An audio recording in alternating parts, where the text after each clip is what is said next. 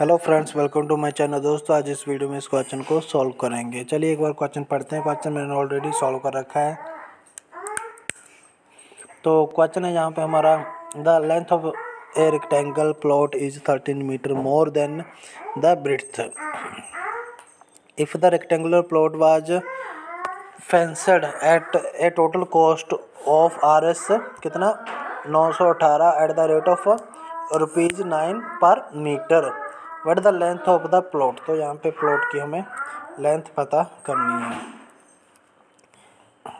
एक rectangular plot है दोस्तों। जैसे कि आप देख सकते हो, यहाँ पे मैंने ड्रॉ कर रखा है। उसकी जो लेंथ है, वो वेट से कितनी ज़्यादा है? तेरह ज़्यादा है।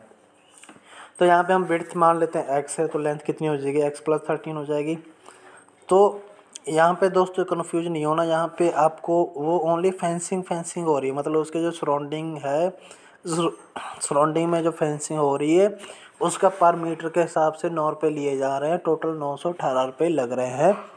तो यहाँ से हमें टोटल फेंसड लेंथ जो फेंस हुआ है, वो टोटल लेंथ मिलेगी ना कि यहाँ पे एरिया तो इस चीज़ में काफ़ी बच्चे कंफ्यूज हो जाते हैं कि यहाँ पे हमें यहाँ पे नौ सौ अठारह को नौ से डिवाइड करेंगे, वो एरिया आ जाएगा तो एरिया का फार्मूला लगा के बराबर पुटअप कर देंगे, लेकिन नहीं, इसमें एरिया की बात नहीं हो रही, इसमें ओनली फेंसिंग जो सराउंडिंग में होती है फेंसिंग उसकी बात हो रही है।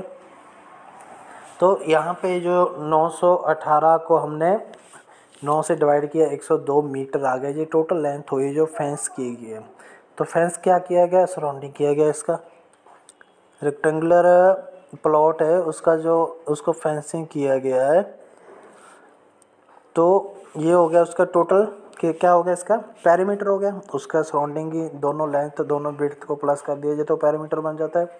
तो टोटल पैरामीटर कितना हो गया इसका? प्लॉट का 102 हो गया। तो पैरामीटर का फार्मूला क्या होता है? Length plus breadth into two length क्या है? X plus thirteen plus x into बाहर में हमने ब्रैकेट में यहाँ पे टू लिख दिया, बराबर किसके? 102 के।